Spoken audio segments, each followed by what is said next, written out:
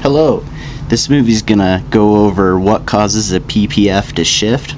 So you've seen the other movies on production possibility curves, you understand that. But what can cause them to shift? So I've gone through a brief list and I'm to show what happens. The first is a change in technology, economic growth or growth in the economy, natural disasters, or any type of disaster really that will destroy um, capital in the economy or perhaps reduce the population, like a plague or war. And then investment versus consumer goods, how that can change a PPF.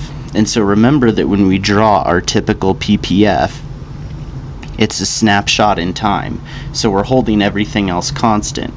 But if in the next time period, say tomorrow or a year from now, technology were to get better and we can produce more stuff, then we'll see our PPF shift out.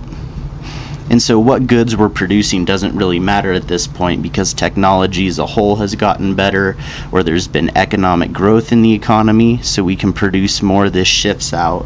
But what if we have a natural disaster like Hurricane Irene and some factories get destroyed?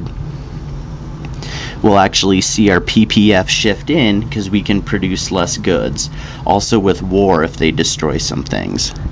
Now, with the last one, we have investment goods or capital goods versus consumption goods.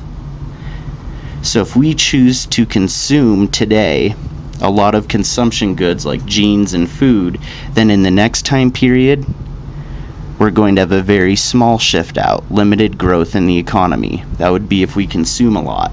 But if we decide to invest a lot, either in technology or factories, then we get a big shift out and we see the PPF shifting out a lot more. And that's if we invest in